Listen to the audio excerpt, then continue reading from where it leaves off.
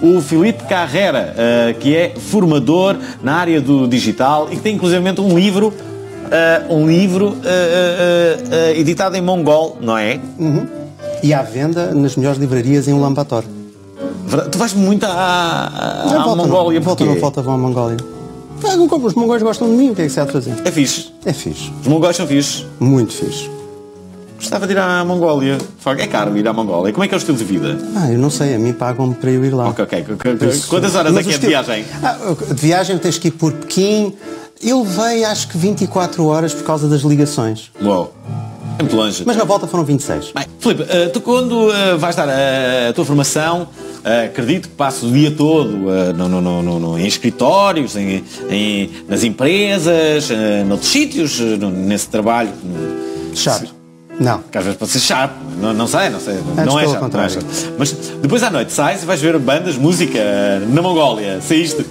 Olha, por acaso na Mongólia tive, tive várias experiências um bocado loucas. Uh, e uma delas é que eu virei para os meus tradutores e disse assim, uh, uh, eu percebi que eles iam sair à noite. Uhum. Eu disse, ah, eu também quero conhecer a, a vida noturna do Ulaanbaatar. E eles disseram, ah, queres? Então está bem, então vamos buscar ao hotel à meia-noite. Tudo bem. E eu, lá, lá estava no hotel à meia-noite, eles vieram buscar.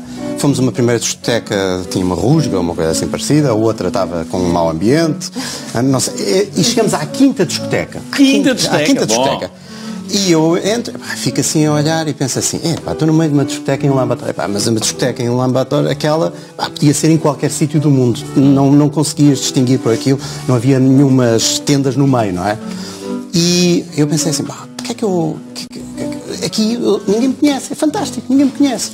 Neste preciso momento aparece uma rapariga no meio, do, no meio da, da pista e diz-me assim, Olá Filipe! Eu, estou no meio de um lavatório e agora uma rapariga aqui conhece Então ela disse, eu não consegui perceber pelas luzes, ela tinha sido a minha tradutora numa das, das formações que eu dei, que eu por acaso dei numa tenda. Num parque de estacionamento, não foi, não foi numa tenda uh, no meio da, do campo. Mas quando se diz uma tenda, um mongol e tal, sim, é, pá, sim, começou sim. a imaginar lá a steppe, mas não. Foi num parque de estacionamento de uma empresa que vende vodka e leite, o que é uma coisa um bocado bizarra. Uhum. E então ela vira-se para mim, pá, Filipe, tudo bem então? E eu fico assim, pá, pois eu depois fui a tua tradutora. Está bem, está bem, não me estava a reconhecer por causa das luzes e não sei. Está cá a empresa toda. Então eu tive a apresentar aos, aos meus colegas que tinham traduzido na parte da tarde toda a empresa e, então, numa deles até era um empresário bastante conhecido na, na Mongólia, que eu depois verifiquei por jornais e revistas que estava sempre a aparecer e que ele veio ter comigo, então Filipe, tudo bem? Eu, ok, tudo bem. E os meus, os meus colegas estavam completamente deslumbrados. Então quer dizer, nós é que somos os locais e tu é que conheces as pessoas.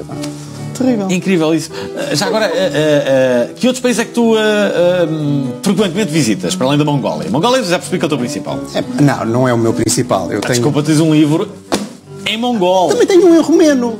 Vou passar, olha, vou daqui a duas semanas vou para lá dar aulas outra vez. Eu dou aulas na Roménia. O que é que dizes?